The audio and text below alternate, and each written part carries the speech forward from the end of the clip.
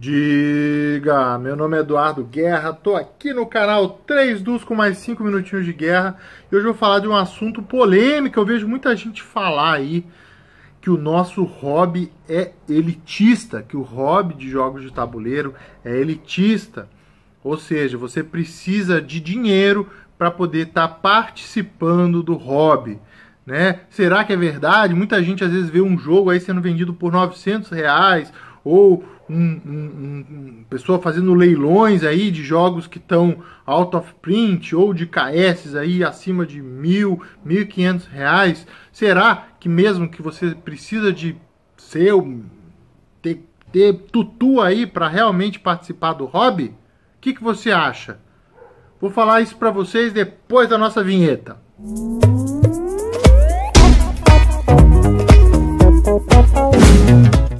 Este episódio tem o apoio da Távola Games. Seja você também um cavaleiro da Távola.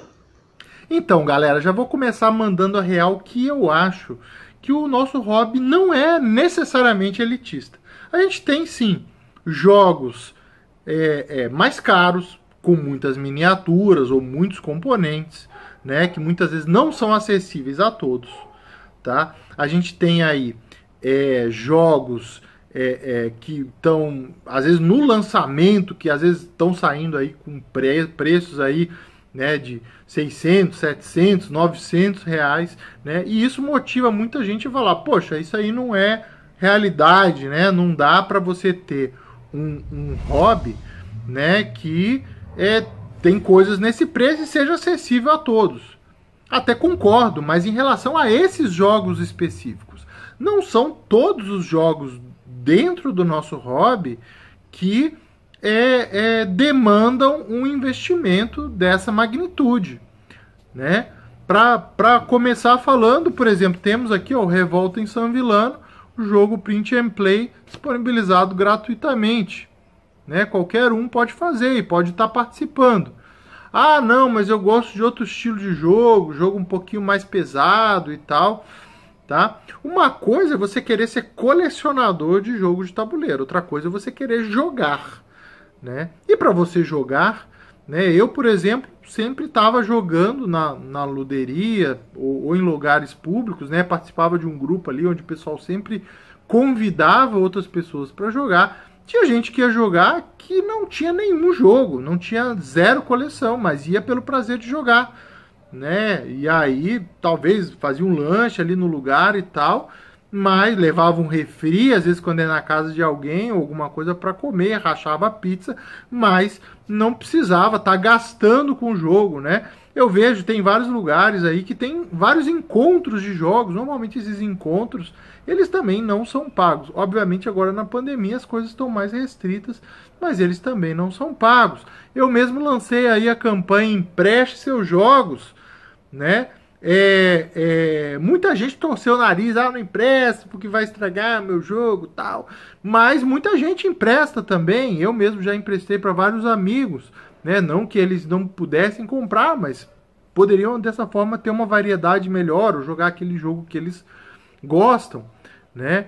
Então, e, e assim, falando também, ah, mas eu gosto de jogo euro, jogo mais pesado ou tal.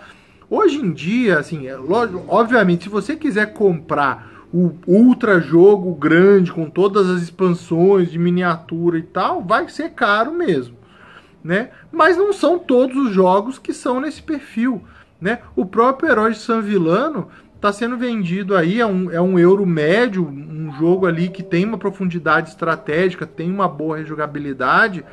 É, na pandemia tá com uma promoção aí, menos de 100 reais você compra diretamente com a editora. Né? Tem outros jogos clássicos aí, né? Porto Rico, Castles of Burgundy. Volta e meia a gente vê uma promoção, volta e meia a gente vê alguém vendendo usado. Eu mesmo já vendi excelentes jogos usados por preços muito acessíveis, muito abaixo daquele que eu paguei. Né? Então é, é possível sim você estar tá adquirindo jogos, né? Ah, pô, mas eu quero pegar no lançamento, eu quero pegar aquele. Aí talvez não, né? De repente, até se você rachar com os amigos que você vai jogar, você consiga. Por, por exemplo, você pega o, um Pandemic Legacy, né? Que é um jogo que gasta, digamos assim. Né, ele tem. Você vai jogar em torno de 24 partidas. Se você pegar ele, às vezes numa promoção, racha com quatro amigos, não fica um preço exorbitante. Tá? Então, para concluir aqui, eu acho sim, sim, se você quer ser colecionador de jogo, né, quer ter todos, quer jogar um jogo diferente toda semana, quer, quer encher a estante, sim, é muito caro mesmo, tá? É, é, é, aí sim, né? Talvez ser colecionador de jogo é um, é um hobby elitista. Mas ser um jogador de jogo de tabuleiro, não necessariamente você precisa gastar fortunas. Tem jogos usados, promoções, às vezes num preço bem acessível que você consegue adquirir ou você consegue jogar com amigos. Tem jogos de graça que você também consegue e você consegue jogar sem necessariamente estar tá gastando uma fortuna aí para ter uma coleção de jogos. Certo? Às vezes você pode ter um, dois, três jogos que você gosta né? E pegando bem aos pouquinhos, quando tem uma promoção, quando tem uma oportunidade, jogar também os jogos dos seus amigos, certo? E às vezes você vai ser muito feliz, ir nos eventos, participar da comunidade, você vai ser um jogador muito feliz sem ter que gastar uma fortuna.